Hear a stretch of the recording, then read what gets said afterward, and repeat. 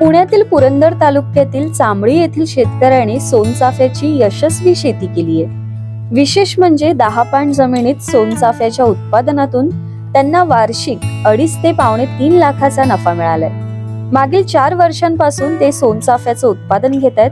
पुण्यातील गुलटेकडी येथील मार्केटमध्ये या सोनचाफ्याची विक्री होते.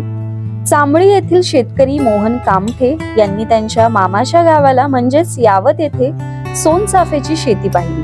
आणि त्यानंतर त्यांनी आपल्या शेतात सोनचाफ्याची लागवड केली. यासाठी त्यांनी रत्नागिरीतून सोनचाफ्याची पन्हेरी आणली. सोनचाफ्याच्या लागवडीसाठी कामटे यांनी रत्नागिरीतून रोप आणलं त्याची आपल्या जमिनीत लागवड केली आणि त्यातूनच त्यांना आता अडीच ते तीन लाखाचं उत्पादन मिळत असल्याचं कामठे यांनी सांगितलं. पारंपरिक शेतीला फाटा देत कामठे यांनी वेगळी वाट निवडली आणि याचा त्यांना फायदाही होतोय. तामठे यांच्या शेतीचं सर्वच स्तरातून कौतुक होत आहे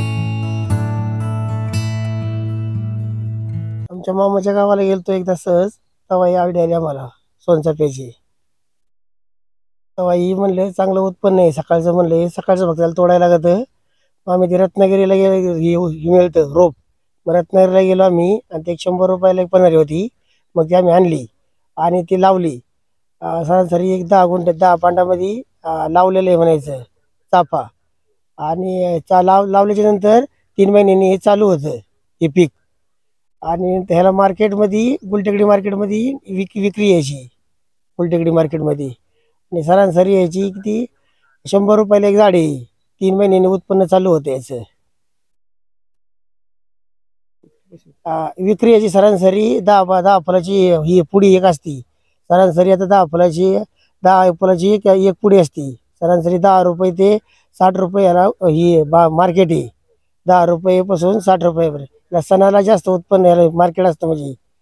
सणाला जास्त महाग असतं हे. याचे वार्षिक उत्पन्न समजा सरासरी धरलं ना आपण बारा महिन्याचं समजा अडीच ते तीन लाख रुपये उत्पन्न आहे वार्षिक उत्पन्न. खर्च वजा जाता नफा अडीच ते अडीचशे लाख रुपये समजा दोनशे अडीच किंवा अडीच लाख रुपये समजा वार्षिक उत्पन्न आहे याचं.